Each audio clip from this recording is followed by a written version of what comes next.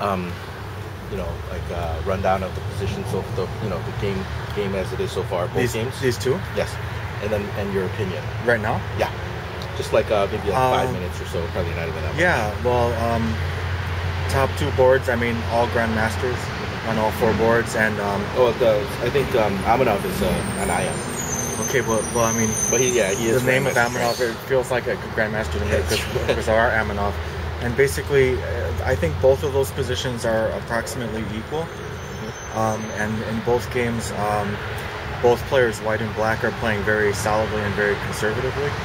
Both are variations of Queen's Gambit declines. Although actually one game is a Catalan and the other one is a Slav defense, but um, they both have the same tension with a pawn on c4 and a pawn on d5. So they both have some very similar themes of uh, the tension building up, uh, but but black having a solid foundation. So in this case, I think the Blaze really benefits from the fact that they have draw odds in the match. Um, Uh, I have a question about uh, Khachiyan. Uh, he, he, he played uh, H6 and uh, G5. I don't know which order he did it in, but uh, I mean, like, is that is that normal in a Slav that you play you play those moves? Or I know you try to. You mean a6? You mean a6? Eight, I'm sorry, H6. A6 and B5? Yeah, A6 and B5. You're right. Yeah, this is uh, now has a name. If they call it the Chebanenko Chebanenko system, Okay. it's become very popular. Uh, the player who plays that in the United States the most is Grandmaster Gata Kamsky, Okay.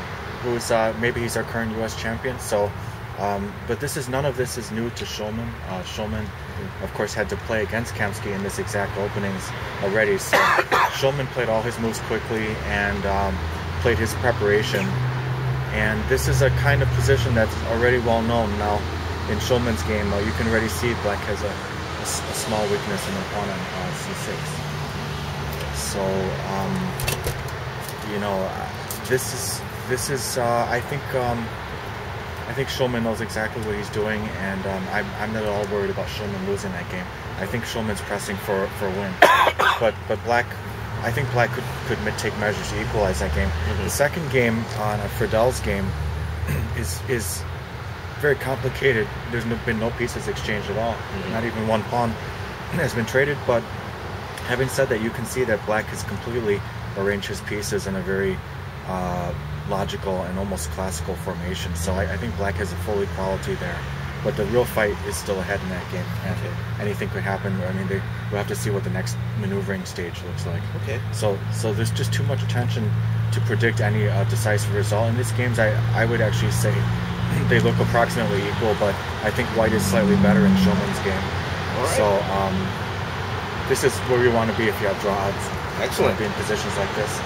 I think we're gonna come back and try and do the same thing in about another hour and a half, and then at least talk about these two games. Those Yeah. How, oh, the same exact games because you can't get the, the other two boards. out Right, of this, right. That's that's that's the only drawback to this. Yeah. but, now, uh, um, the interesting thing about Gurevich and uh, Tata mhm. is I've had games against each of those players on the respective colors of that opening. So it's a it's a King's Indian Classical.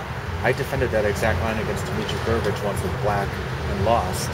And then one time I was white against Tata uh, in the uh, Chicago Open, and that same line with 96 King's Indian, and I lost against her. So in the opening that that Gurevich and uh, Abra- Abrahamyan Abrahamyan, yeah. are playing, I've, I've, I've lost against both of them.